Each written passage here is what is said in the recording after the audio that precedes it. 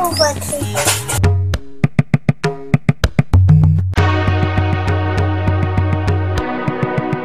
क्या नाम है आपका?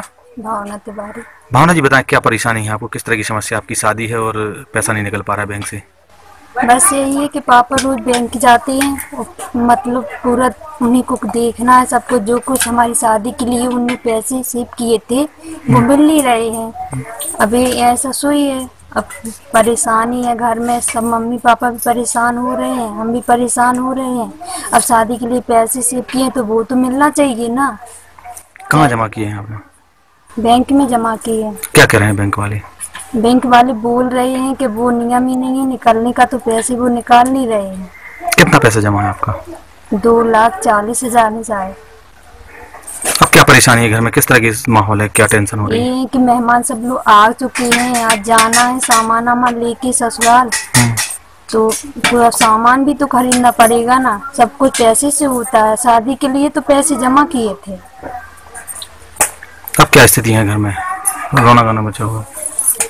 वो ये है कि मम्मी पापा सब परेशान है। हम भी रो रहे हैं। बस यही है कि पैसे निकल। आए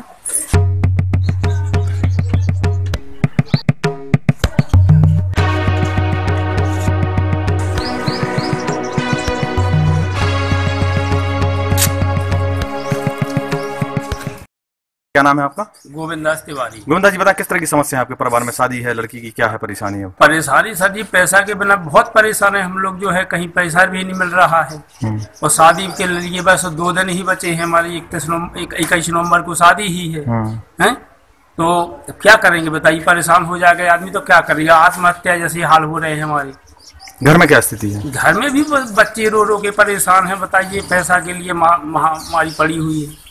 आपका कितना पैसा बैंक में जमा है? क्यों नहीं दे रहा? मतलब सर दो दो लाख चवालीस हज़ार रुपये की समथिंग जमा है।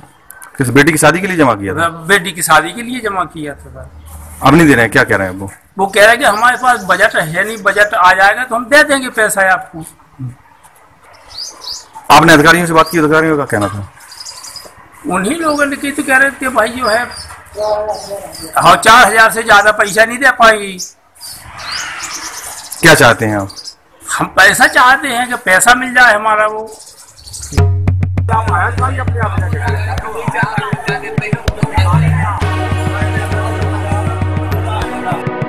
जी सर किस तरह का मामला आपके यहाँ सामने आया है? एक व्यक्ति है जिनकी बेटी की शादी है लेकिन उनका पैसा नहीं मिल पा रहा है उनका पैसा जमा है आपके बैंक में। क्या कारण है?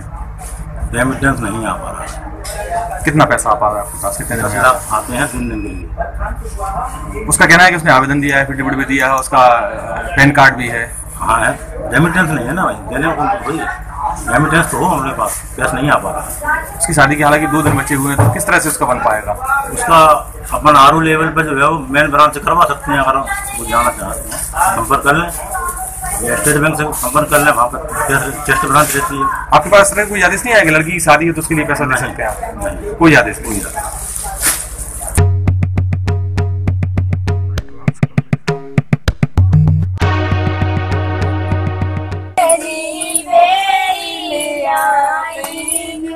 बने की मम्मी गई मेरी